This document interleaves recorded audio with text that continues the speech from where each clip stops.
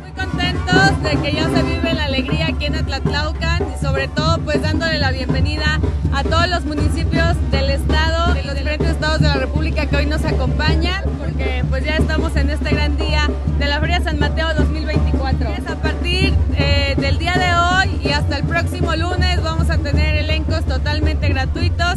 El único evento que va a ser en el recinto ferial es el de la arrolladora. Bueno, también vamos en el Teatro del Pueblo, ahí en el centro, para que nos puedan acompañar y a partir de las 5 de la tarde puedan llegar con sus familias porque vamos a tener también carteleras de, algunas actividades más.